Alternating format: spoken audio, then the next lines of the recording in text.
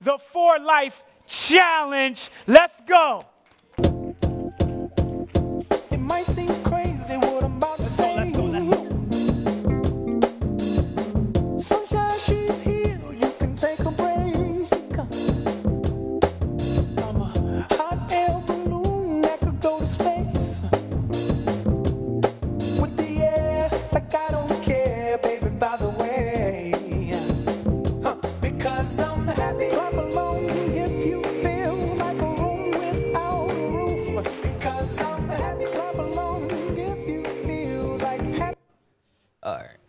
Good afternoon. My name is Jordan Mayer, and we are the For Life team from Murrell Dobbin CTE High School and the creators of the For Life Challenge.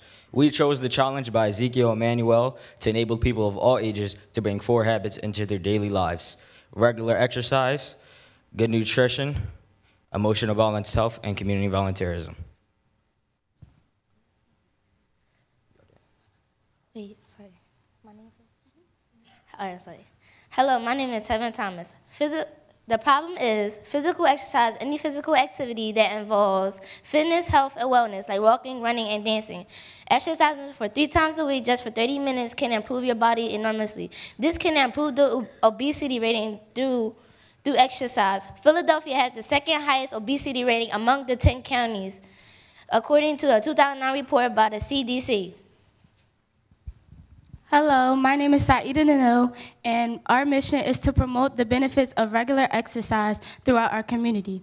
Um, we had went to four schools to promote daily exercise. Um, we taught the students what exercise was and how to do it. We also taught them um, a, a four-minute uh, warm-up, which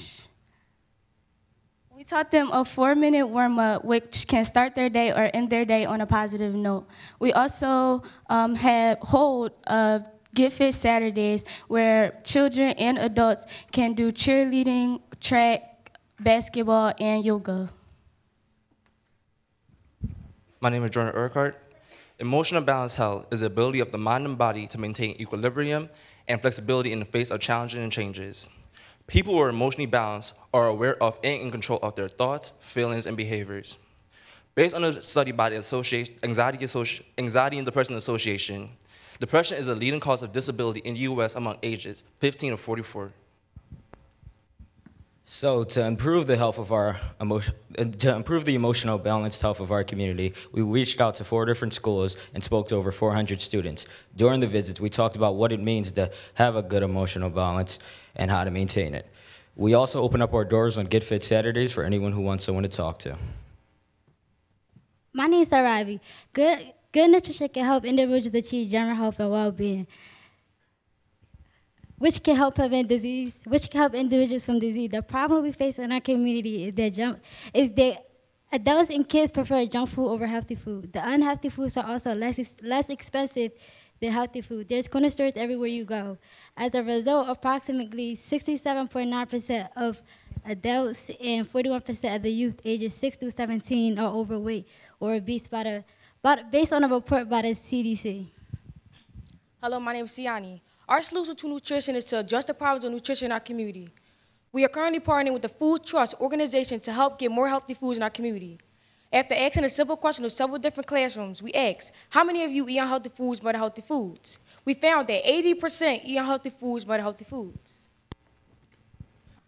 My name is Teron Bullock, and I help with the volunteer part. Volunteering is when someone takes in or undertakes a task freely.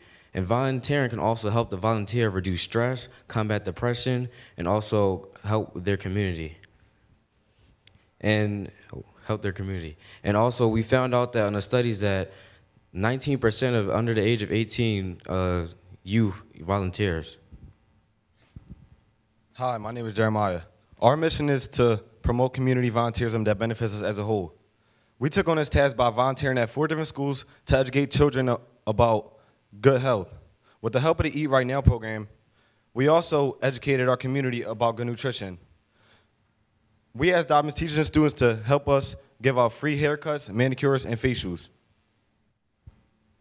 At our Get Fit Saturdays, we surveyed participants, and we found that that there was a 12% increase in eating healthy foods, a 21% increase in exercising three times a week, and 12% increase in balanced emotional well-being.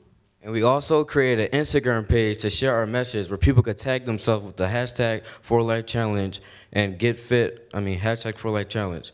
And together we are the For Life Challenge. Okay. I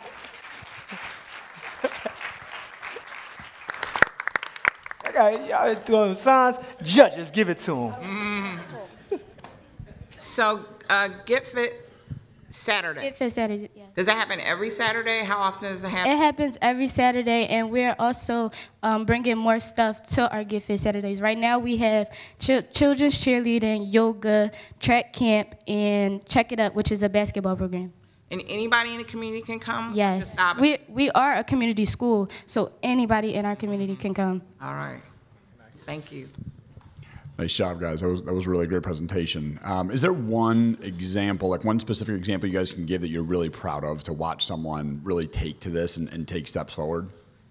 Yes, actually, um, to see that that the kids actually started to do it, put a smile on our face. Like we actually saw that our message was being reached, and they actually like to exercise and they like to learn the new things we were telling them about emotional balance, health, and eating healthy foods instead of going to the corner stores and tell them that coming to our school to volunteer is actually good. And we saw that the rates increased from the first Get Fit Saturday to the next ones that kept coming. More kids started to show up and show up, so we saw that our message was actually being reached, and it actually helps the children.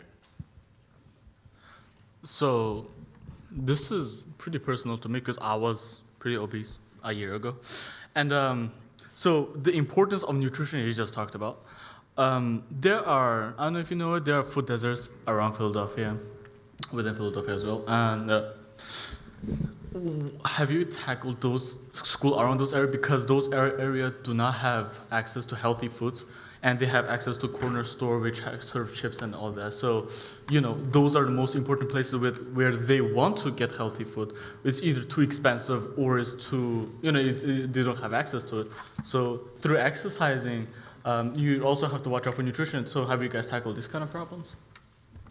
Um, we're currently in the works with the Food Trust organization, which is an organization that goes out to corner stores and tries to get the store owners to put more healthy stuff in the front of the stores, so and make it less expensive, so people can actually get access to it. And we also are in works with the right now. They uh, they also come down to our Get Fit Saturdays. How many folks are participating on the Saturdays? Um, at the Check It Up, it's about 30 kids in the gym, but in uh, the, our cheerlead, children's cheerleading, it might be about 10, but I'm not sure for track. For, The track, the track had about like four to five participants, but there's like more to come every Saturday. Just want to thank you for the gift packages and, and, oh, oh, yeah. and great pens. And, and also, what's been one, the one thing that was most exciting for you that you've learned in this whole process?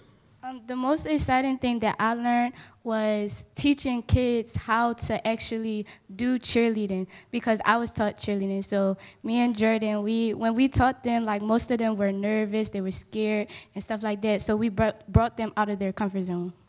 And that is it. Thank you so much for Life Challenge. Good stuff. Good stuff.